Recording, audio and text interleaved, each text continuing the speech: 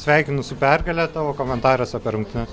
Dėkui. Nu, iš tikrųjų, matėsi, kad kontroliavom visas rungtynės, nežinau kiek ten metimais, bet manau permetėm, dvikovas visas laimėjom, nu ne visas gal keletą ir pralašėm, bet pagrindę laimėjom ir manau nusipelnėm to rezultato. O kiek įtakos rungtynėm turėjo tai, kad turėjot ilgesnį žaidėjų solelį? Tai visada lengviau, kaip yra keturi penketai, labiau pailsi kiti žaidėjai, tai manau turėjo įtakos. O į trečią kėlinį išėjot pakeitę planą, galbūt labiau atsitraukti gynybą ar toliau norėjot pult? Ne, iš tikrųjų bandėm laikytis to pirmų dviejų kelnių plano ir bet pankai buvo labiau nusiteikę tuos įmušti įvarčius, tai labiau lipo, mums teko trečią kelnį šiek tiek nu, sunkiau negu pirmus du. O žaidimas mažumoje turbūt buvo šiandien, šiandien vienas geresnių apskritai šiame sezone.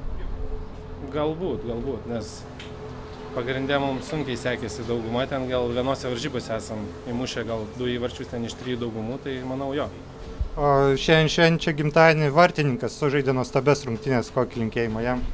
Tai linkėjimai mes jam rūbiniai palinkėjom, bet nepadarėm dovanos, to vis tiek pra, praleido, praleidom mes visi įvartį tą ir nepadarėm dovanos. Tai reiks kažką kito galvoti, nežinau, gal kažką nu, greitai parduotuvę nupirkti jam ir ką. Gerai, gerą šventimą. Tai treneri retai tai būna, kai pankai neįmuša nei vieno, į... nu, vieną įvartį, bet visas rungtynės praktiškai nieko. Kas nutiko šiandien? Jo, reikėjo įmušum tą vieną įvartį kuo greičiau, tą pirmą įvartį. Tai netgi 5-3 žaisdami, aš nežinau, turbūt pirmą kartą išleidau dar šeštą žaidėją, taip norėjusi tą, tą įvartį muš, bet iš esmės turbūt smagiausias dalykas, kad į finalinės rungtynės vis, visi, visi atvyko, kas galėjo ir visi pasirodė rungtynėse, pasirodė turiu minį, kad visi žaidė, ką galėjo. Taip, ne visą laiką pavyksta įmuštą įvartį. Ir tikrai turėjom susikūrę momentų labai gerų įvarčių įmuš pirmam kelinį. Jeigu būtume tą išnaudoję, būtų komandai daug lengviau žaisti toliau būtume gal pakeitę kažkokią sistemą, kaip žais kitaip, bet kai reikėjo, kaip sakant, vytis mačą, tai šiek tiek kitaip, šiek tiek rizikuoja, peržaidė. Aišku, tos minutės atrodė nuo soliuko abejingos baudos minutės į mūsų, į mūsų pusę.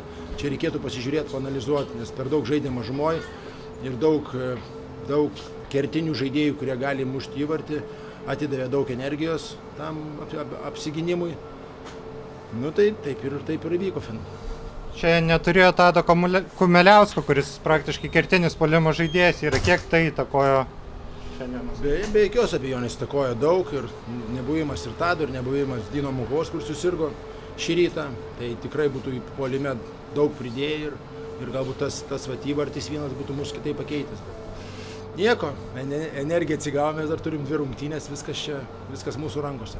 O sekančiam rungtynėm turėsit ilgesnį solelį, šiandien gal kažkiek pritruko ir to solelio tiesiog ilgesnį. Taip, teisingai, tai mes dabar, dabar ir kalbėjom, kad trečiadienį turim važiuoti visi, atsakyti, nu, išeiti iš darbų ir panašiai, ir važiuoti visi ir, ir, ir bandyti tenais sužaisti su Hašas Ryga. Mes ir, pra, ir praeitą kartą buvo po dviejų kinų tik 0-2 ir ta prasme buvom trumpas soliukas, už tai ne, neištėpėm iki, iki pergalės. Tai viskas įmanoma.